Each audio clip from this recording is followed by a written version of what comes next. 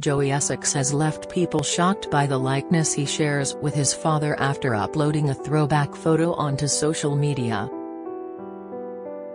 The 30-year-old TV personality took to Instagram on Sunday to pay tribute to his dad on Father's Day.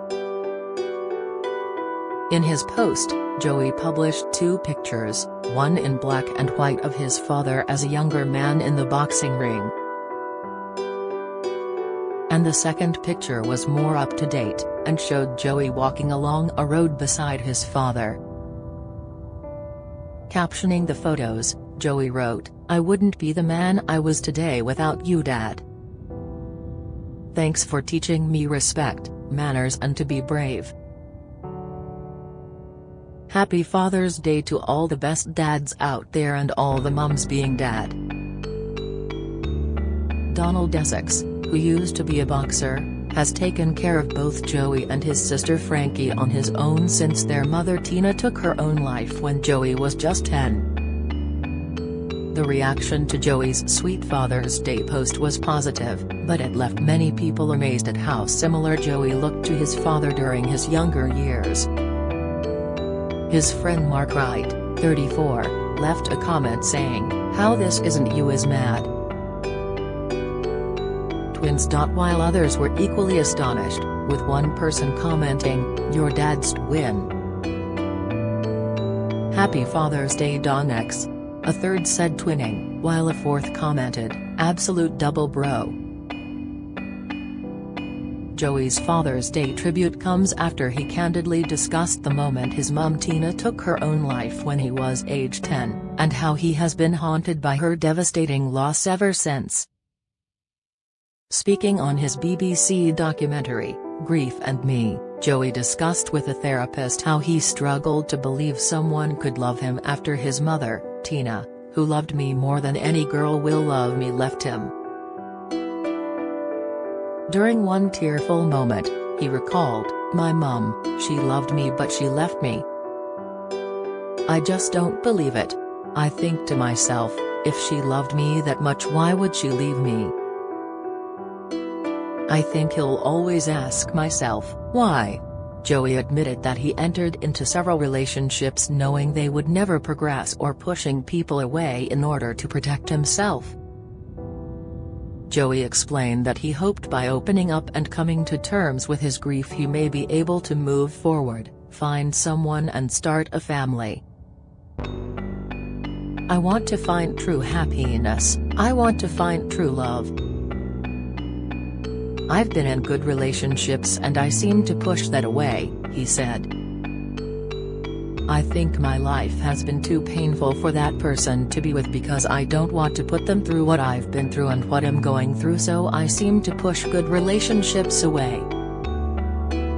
Joey has had several romances over the years with fellow Towie star Sam Faiers, model Amy Willerton, who he met on a Celebrity in 2013, and The Hills star Stephanie Pratt. I don't trust a lot of people, I just don't, he said. The whole thought of being left alone scares the life out of me because I went through it as a kid and it was just awful. Imagine if I loved someone, had kids with them and I really did love that person and then she left me I wouldn't know what to do. But after turning 30, he stepped back and looked at his life and decided he wanted to stop wasting my own time, instead acknowledging he needs to be happy in himself to be able to find a healthy relationship. Speaking with his cousin Chloe Sims, 38, Joey admitted he struggles to give his heart out to women. That's not a good way to think because I'm already thinking we're gonna break up before we're even together, I'm pushing it away. Now I've gone from this party boy life genuinely now I'm like, whoa, I've had this massive kickback, like I actually want a family. How do I make myself happy without that? The reality star also spoke about the emotions he had kept buried about his mother, often in the past avoiding speaking openly about her. I just don't think he'll ever be able to let it go. I don't want to let go. I don't give a s about all this life we live and all that. I'd choose her over anything. A lot of people say with this subject but you don't know how she felt and all this and all that but it's like she got rid of her pain but now look at me. Everything I've achieved in life, it's like who have I got to prove it to? No one. I would throw everything away to spend one hour with her. Joey revealed early on in the documentary that he often struggles with feeling lonely in his large Essex home which, when he purchased it five years ago, he expected he would be sharing with someone by now. People just see me as this little Essex boy who is just like living the dream made all the money in the world and had an easy life, silver spoon in my mouth, but no one really knows what's going on inside my head, he said.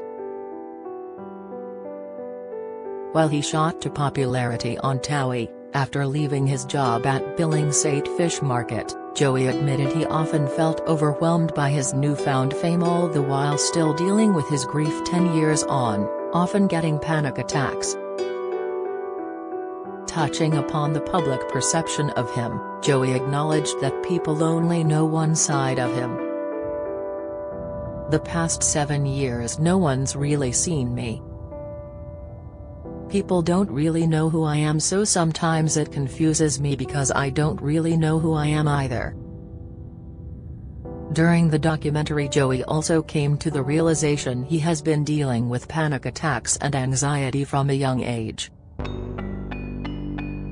Recalling his experiences as a teenager, he told his therapist, Dr. Stephen Blumenthal, that he used to get extremely hot and run around his house in a panic.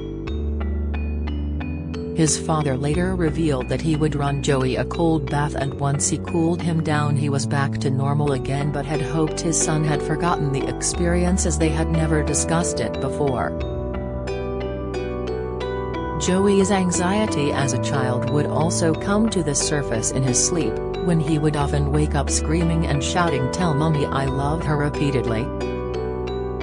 He admitted his mother's death left him torn to pieces and he often felt depressed, on several occasions taking himself to hospital convinced there was something wrong with him. Touching on the moment he was told his mother had died, he said he can remember it like it was yesterday because it is a thought that will never go. Just hearing the words, Mummy's gone was enough, he said. I sort of just said to myself it isn't true, like she's coming back and I sort of believed that. His therapy journey was not always easy, including one instance where he considered giving up on his sessions as he struggled to let Dr. Blumenthal in. In an emotional scene, he said, I've never took it this serious so I'm finding it difficult. I don't trust you and am getting frustrated I don't know, I can't even explain it, it's F hard man. I just feel trapped. Just sometimes that's how I feel. Wrapping up the final scenes from the emotional program, Joey admitted he's not certain what exactly people get out of therapy but felt he had noticed a difference in himself.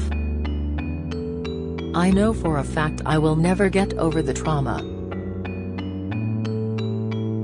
I will live with that and that's the way it is but I've started to talk about it, I've opened up about it, I can look at pictures I can finally do that which is huge.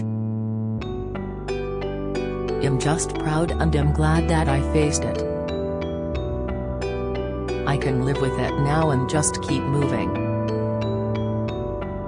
I can only take positives out of everything I've been through. For confidential support, call the Samaritans on 116123 or visit a local Samaritans branch. See www.samaritans.org for details. Joey Essex Grief and Me aired on BBC One at 9 pm on June 3 and will be available on BBC Three on iPlayer from 6 am.